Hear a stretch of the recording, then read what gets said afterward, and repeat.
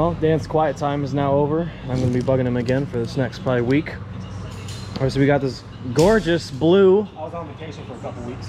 That's right, he was on vacation away from we me. don't get vacation here. Our vacation is Saturday and Sunday. Working on a right. weekend like usual.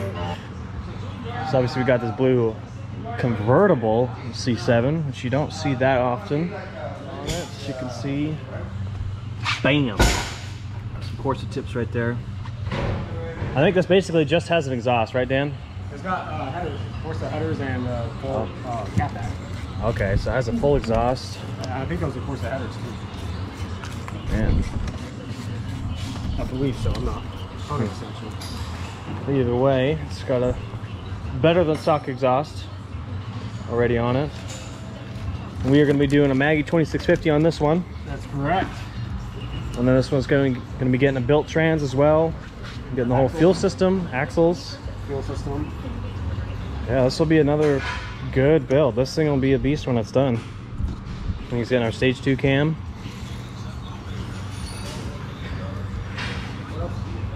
Hmm. Uh, throttle body. Yeah, getting a 103 throttle body. It's a nice car, actually. Obviously, with the exhaust already sounding nice, but now we'll get that cam chop. What's your guess for? Uh, well, we don't know. We don't know yet if it's on the 85 or 109 or what he's doing with it. Probably should be on 93. Yeah, I would assume. cars from Florida. I'm not sure what they have there in terms of gas, but I think it'll make a solid at least 800 something. 800, 850. Yeah. Yeah, either way, this is gonna be a cool build. Let's get to it. Right, we got Dan putting the cam in here. He's pretty much almost done. Just gotta get that last, last little bit in. Like butter. Aw, dang, there we go. It is Monday now. Dan tore everything apart Friday. Um, now first thing Monday, Dan, like I said, just put the cam in. And I believe he'll probably get the well pump on, cam gear, all that stuff, all the good things with it. Start getting this car back together.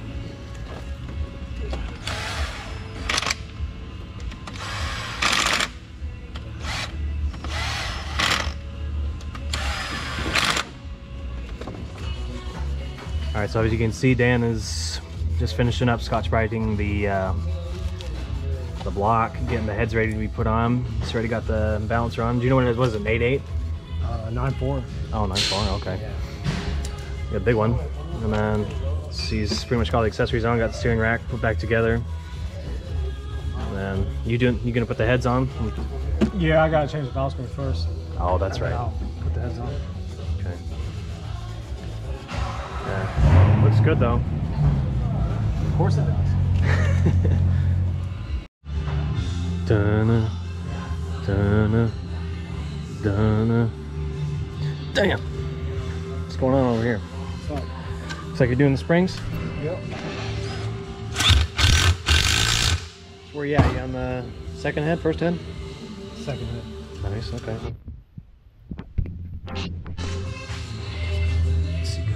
Double spring. Much nicer than factory.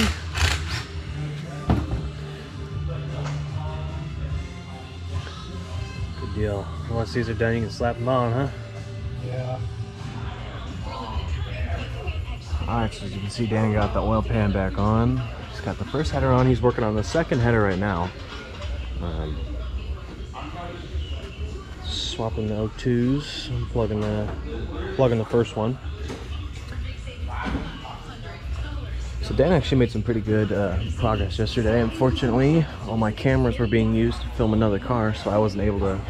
You can. So I wasn't able to film this, but Dan got the heads on. Um, so as soon as he drops the car, I'll show you guys that. But all right, so obviously you can see Dan has pretty much got all of the pulley system on, water pumps on, all the either pulleys. Pretty much everything's on here. Um, Dan obviously got the heads finished. I barely had any time. I barely caught him uh, putting a couple springs in on one head. He already had the other one done. Um, but the heads are on. It's just see he's putting this header on now. after that, I'm not sure what else is left on the motor except for, uh, ooh. I'm not sure what else is left on the motor except for start putting everything up top. Start getting it ready for the supercharger.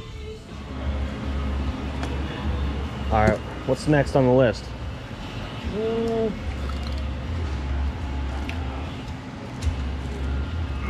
Probably start on Maggie. That's what I was thinking. I was like, everything else looks pretty much done.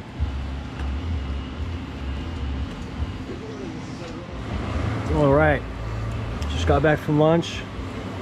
And one's uh.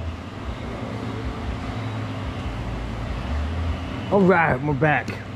See the Magnuson 2650 is on the car. Dan's got looks like most uh, vacuum lines, everything all finished up. See fuel lines are all good, everything's good.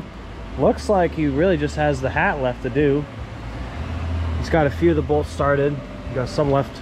Um, other than that, man, this thing's real close to being finished motor-wise. We still got to do the transmission, um, but I'm gonna put the intake on, all that stuff. Man, this thing's getting real close. He said at least up here. We still got a few things left to do on the on the other parts of the car, fuel system in the back, stuff like that. But damn, busted away this motor. It's looking good. I'm ready. Let's throw her on. So you got the gaskets and everything in. Damn. Damn, Dan. Pretty good. Looks good. Really good.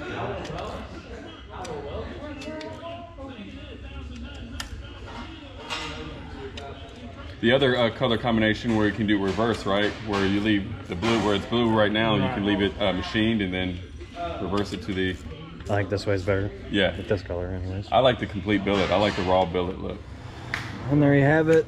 Intake is on. Dan's f- getting a couple fittings left. A couple small things here and there on it. And that, she's pretty close to being able to start. It's looking good. I love that. The blue billet lid and then the five inch cold air intake that we custom fabbed. That's good stuff. This car looks good under the hood.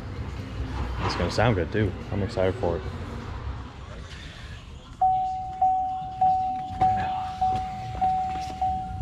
Here we go, moment of truth. Yes, buddy. Elias's 2019 C7Z06. I believe it came in with headers already on it, but like headers and airbox. But we did our full cam package, uh, the new 2650 blower, and obviously our new beautiful billet lid. Let's uh, let's fire in the hole real quick.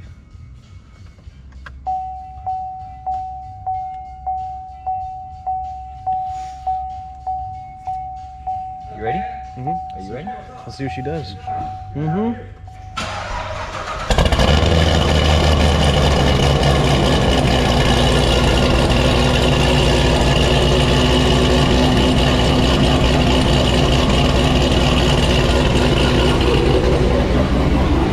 Sounds good.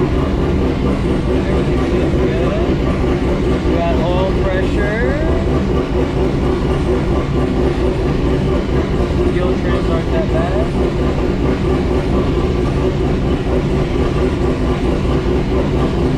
Oh yeah. The Corsa sounds good. Yeah, the Corsa sounds nice.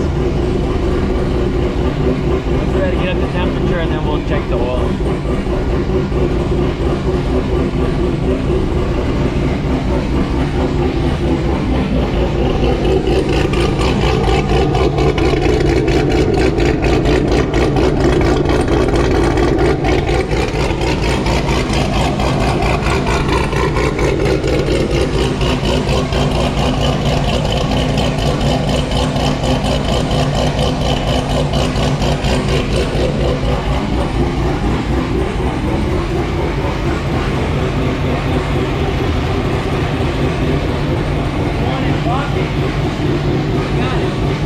Yeah, it's it's rocking good.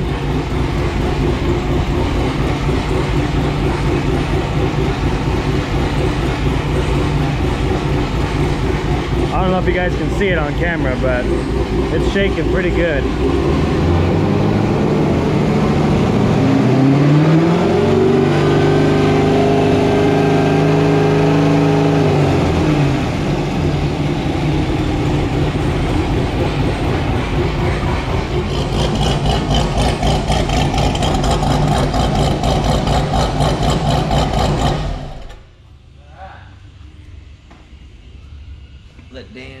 all the fluids again.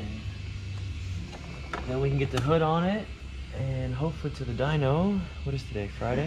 So we'll put some miles on it. Got a new transmission in it, new axles in it. Oh, yeah, it's got everything, huh? So Mhm. yeah, we'll put some miles on it and we'll definitely put on the dyno next week.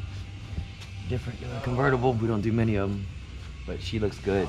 Yeah. Carbon stripes and everything. Mm, it's a nice car. I like it. I like it. Yeah, leave your comments below. I'm sure I'll say it 10 times. What y'all think of the lid, guys? If y'all like the powder coat, if y'all like it all billet, I want to know what y'all think. We have mixed reviews, the guys at the shop. Some people like it all billet, some people want them all black, some people like the different colors for the cars. So, y'all let us know.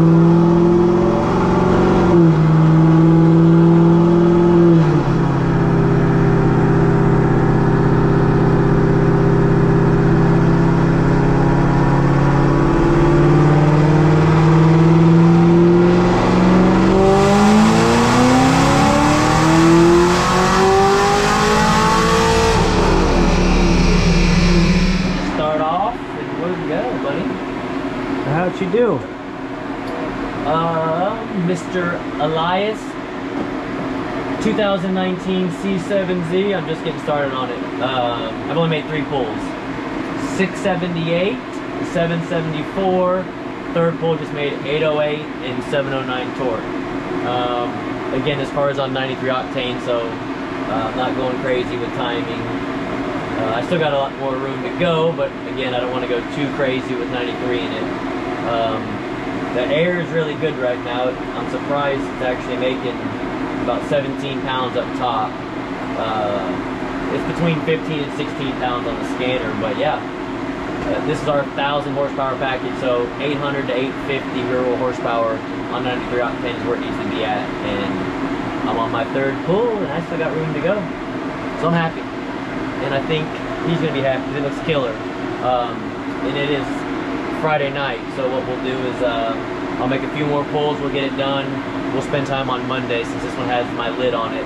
I want to go back and forth from the billet lid to the factory lid, back to the billet lid so we can see the gains.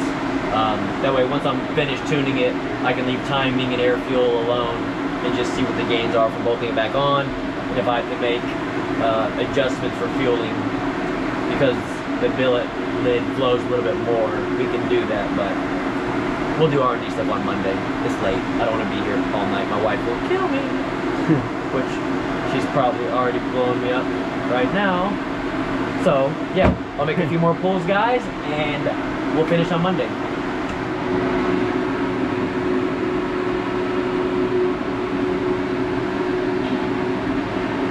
Filming? Mm-hmm. I'm sorry. Um, all right, so Monday morning, just finished up Elias's car. Uh, just a few little tweaks to the air fuel, a little bit to the timing. We finished up with 864 to the tires, 768 torque. Again, awesome numbers for our 1000 horsepower package. Uh, the billet lid obviously is more efficient than the factory one.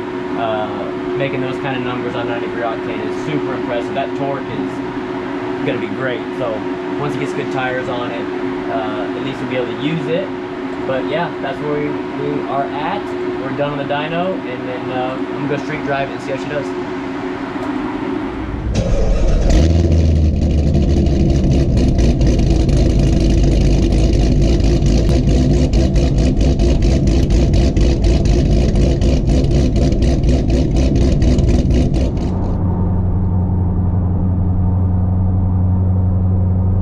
All right. We are out in Elias's 2019 C7 Z06 convertible. We don't do many convertibles. I believe he's from New York, so I'm sure the weather is nice and snowy up there for him right now. Here in Houston, nice 70 degrees. Um, I don't know if he's shipping it to New York or Florida when we're done. You know? I'm not 100% Okay. sure. I think he's going to New York. But uh, we just finished it up. It's not, I mean, it is our 1,000 horsepower package, but the car came to us already modded. Uh, I believe it already had headers on it, maybe an airbox uh, in the Corsa exhaust. So obviously we did our custom grind cam package. Uh, obviously the, the 2650 supercharger with our new billet lid and all the fuel system stuff and everything that's required to make uh, a thousand flywheel horsepower. Uh, we also did built transmission in it, I don't remember if it has CV axles or not, but I know the transmission is for sure built in it. Um, just got it off the dyno a couple hours ago, and I just redid uh, the TCM file in it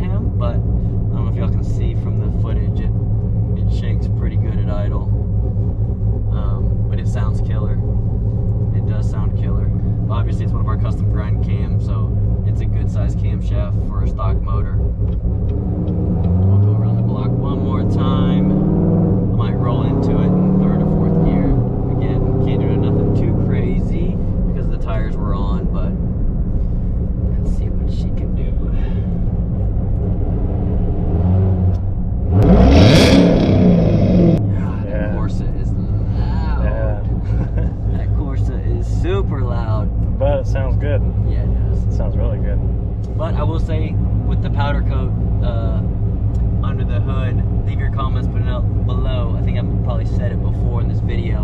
Um, I want to know y'all use uh, use guys y'all's opinion on uh, the different colors and so forth. Being it's a blue car, uh, we did the powder coating. It's a dark blue. It's like I call it like the LS9 caliper blue. I think it turned out really good. Let me know what you guys think. Uh, we have another one